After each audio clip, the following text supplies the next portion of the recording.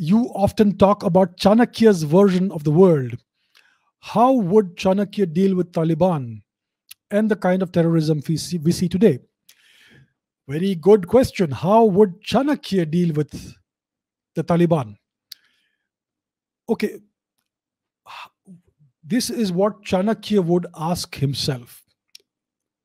A, what is India's national interest? And where do India's biggest threats come from?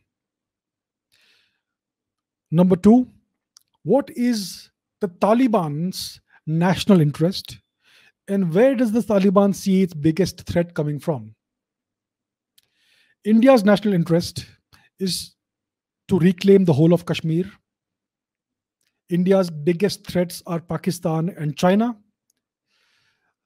The Taliban's national interest is to consolidate their hold over the country, to reclaim Pakistan occupied Afghanistan, and their biggest threat and competitor is Pakistan.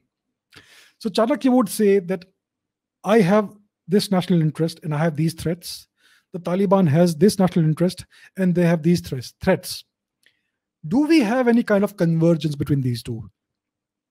We both see Pakistan as our biggest threat. We both have territorial disputes with Pakistan. My enemy is Pakistan. The Taliban's enemy is Pakistan. Why can't we work together? My enemy's enemy is my friend. I don't care what Taliban's ideology is. I don't care that they want Sharia law. It has nothing to do with me. It is their internal matter. I their national interest does seem to have a, some convergence with my national interest. So why can't we work together? That is how Vishnugupta Chanakya would see the world. This sort of realistic approach has nothing to do with morality, with ethics. It is all about realpolitik. It's all about pursuing your national interest. It's all about destroying the common enemy.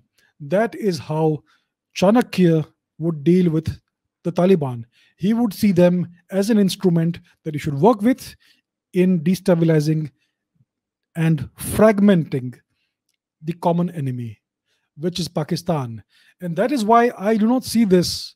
I, I know the Taliban takeover is a very bad thing for many Afghan people, especially those who were westernized and who did not want Sharia law. It is a bad thing for women who will now have extra impositions on them.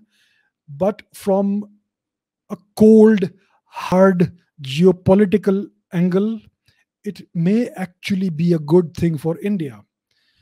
So that's what India needs to work with.